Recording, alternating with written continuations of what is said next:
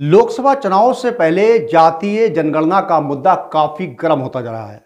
वहीं बिहार में नीतीश और आरजेडी गठबंधन सरकार जातीय जनगणना को लेकर मंजूरी भी दे चुके हैं।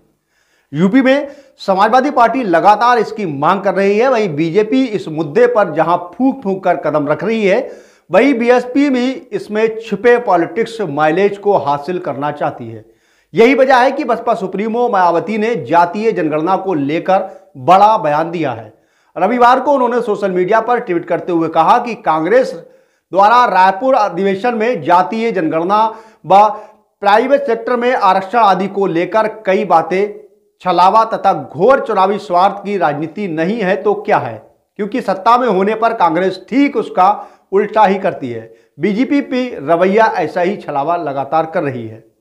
बसपा प्रमुख ने कहा कि साथ ही प्रोन्नति में आरक्षण के चर्चित व महत्वपूर्ण मुद्दे को लेकर कांग्रेस व भाजपा द्वारा सपा को आगे करके संबंधित बिल को संसद में पारित नहीं होने देने के जातिवाद षडयंत्र को भला कौन भुला सकता है? जिसका अति दुखद व दुर्भाग्यपूर्ण परिणाम इन वर्गों को आज तक भुगतना पड़ रहा है। बीएसपी चीफ मायावती ने कहा कि उन्हीं बीएसपी विरोधी पार्टियों के षडयंत्र का परिणाम है कि सरकारी नौकरियों व शिक्षा में इन वर्गों का आरक्षण लगभग निष्क्रिय एवं निष्प्रभावी बन गया है, तथा उनकी आरक्षण सीटें वर्षों से खाली हैं, जबकि ईडब्ल्यूएस का नया लागू कोटा सरकार मुस्तैदी से भरती है, अतः हर स्तर पर सावधानी ज़रूरी है।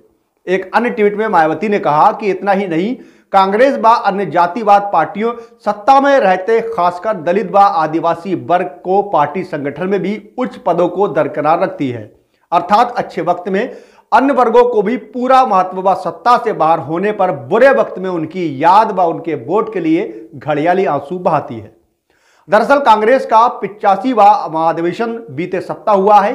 यह अधिवेशन छत्तीसगढ़ के रायपुर में हुआ था, जिसमें कांग्रेस ने जातीय जनगणना और प्राइवेट सेक्टर में आरक्षण सहित कई मुद्दों पर बयान दिया था, जिस पर अब बीएसपी चीफ मायावती की प्रतिक्रिया सामने आई है।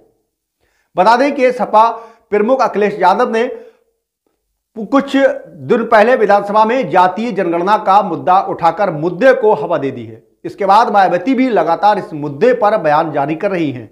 दरअसल उन्हें पता है कि पिछड़ों कोई इस तरह राजनीति में उन्हें जगह बनानी होगी। यदि ऐसा करने में वह नाकाम रही तो दलित वोट बैंक के भरोसे एक बार फिर उन्हें सियासत की नाकामी हाथ लग सकती है। बता दें कि मायावती के एक ट्वीट से लगातार सियासती जो रवैया है, वो ज़्यादा उछाल पर है। मायावती ने जातिगत मतगणना को लेकर एक फिर एक बार फिर से ये